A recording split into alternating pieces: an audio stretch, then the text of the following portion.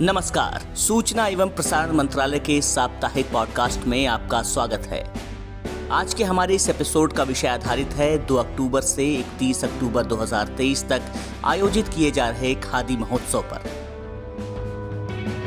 खादी महज एक कपड़ा नहीं, बल्कि भारतवासियों को महात्मा गांधी के स्वदेशी आंदोलन से जोड़ने वाला भावनात्मक प्रतीक भी है। गांधी जी का मानना था कि खादी के कपड़े पहनना न सिर्फ़ भारतीयों को अपने देश के प्रति प्रेम और भक्तिभाव को दिखाता है, बल्कि भारत की विविधता में एकता को भी दर्शाता है।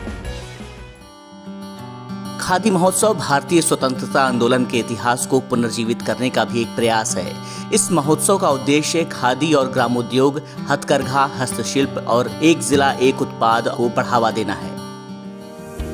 यह महोत्सव विभिन्न राज्यों के खादी उत्पादों की एक विविध श्रृंखला को प्रदर्शित करेगा, जिसमें खादी के कपड़े, रेशम की साड़ी ड्रेस मटेरियल कुर्ते जैकेट बेडशीट कालीन और साथ ही उत्कृष्ट कला एवं हस्तशिल्प से जुड़े सामानों की प्रदर्शनी की जाएगी। ग्रामीण और स्वदेशी उद्योगों को बढ़ावा देने के उद्देश्य से प्रधानमंत्री नरेंद्र मोदी लगातार खादी को प्रोत्साहित करते हुए इसे हर घर तक पहुँचा रहे हैं। खादी सस्टेनेबल क्लोथिंग का उदाहरण है। खादी इको फ्रेंडली क्लोथिंग का उदाहरण है। खादी से कार्बन फुटप्रिंट कम से कम होता है। ऐसे बहुत सारे देश हैं जहाँ तापमान ज़्यादा रहता है। वहाँ खादी हेल्थ की दृष्टि से भी बहुत अहम है। और इसलिए खादी आज वैश्विक स्तर पर बहुत बड़ी भूमिका निभा सकती है। प्रधानमंत्री नरेंद्र मोदी ने हर अवसर पर खादी उत्पादों का प्रचार कर इसे लोकल से ग्लोबल बना दिया है और अब खादी विश्व भर में जाना पहचाना एक ब्रांड बन चुका है। प्रधानमंत्री नरेंद्र मोदी की अपील पर दिल्ली वासियों ने खादी एवं ग्रामोद्योग उत्पादों की खरीद में एक नया कीर्तिमान स्थापित किया है। गांधी जयंती के अवसर पर नई दिल्ली के कनॉट प्लेस स्थित खादी भवन में एक करोड़ बावन लाख पैंतालीस हज़ार रूपए मूल्य के खादी और ग्रामोद्योग उत्पादों की बिक्री हुई, जो एक दिन में की गई अब तक की सर्वाधिक बिक्री है। प्रधानमंत्री नरेंद्र मोदी के नेतृत्व में वोकल फॉर लोकल के मंत्र से स्वतंत्र भारत के इतिहास में पहली बार खादी और ग्रामोद्योग आयोग ने एक ही वित्तीय वर्ष में एक दशमलव तीन चार लाख करोड़ से अधिक के उत्पादों की बिक्री का नया रिकॉर्ड बनाया है। प्रधानमंत्री नरेंद्र मोदी के कार्यभार संभालने के बाद से पिछले नौ वर्षों में ग्रामीण क्षेत्रों में कारीगरों द्वारा बनाए गए उत्पादों की बिक्री में 332 प्रतिशत की वृद्धि दर्ज की गई है। वर्ष 2014 में, जहाँ खरीदारी और ग्राम उद्योग आयोग का टर्नओवर इकतीस करोड़ रुपए था। वहीं वित्तीय वर्ष 2022-23 में यह बढ़कर एक लाख चौंतीस हज़ार छह सौ तीस करोड़ रुपए पहुँच गया। इसके साथ ही खादी और ग्राम उद्योग आयोग ने ग्रामीण इलाकों में नौ लाख चौवन हज़ार आठ सौ निन्यानवे नए रोज़गार सृजित करते हुए मील का पत्थर स्थापित किया।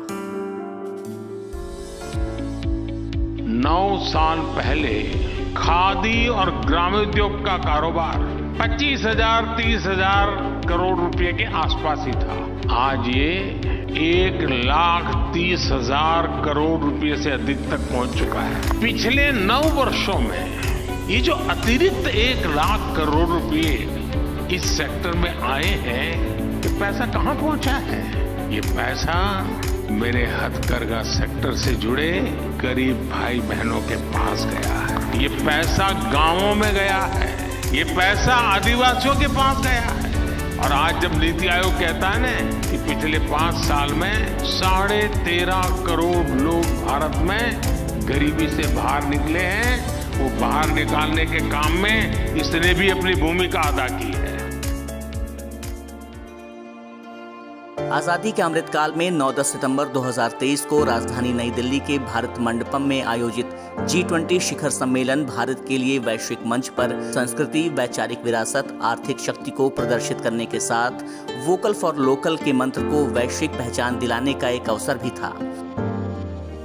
इसी क्रम में 10 सितंबर की सुबह पूरी दुनिया राजघाट से आने वाले अद्भुत दृश्यों की साक्षी बनी। जब प्रधानमंत्री नरेंद्र मोदी ने जी ट्वेंटी शिखर सम्मेलन में आए सभी विदेशी राष्ट्राध्यक्षों का खादी अंग वस्त्र से स्वागत किया। इतिहास गवाह है कि खादी का एक एक धागा आज़ादी के आंदोलन की ताकत बना था। आज़ादी के 100 वर्ष पूर्ण होने पर वर्ष दो तक विकसित भारत के सपने को पूरा करने के लिए भी खादी प्रेरणा स्रोत के रूप में उभर रही है। खादी हमारी विरासत होने के साथ साथ आत्मनिर्भर भारत का भी एक प्रतीक है।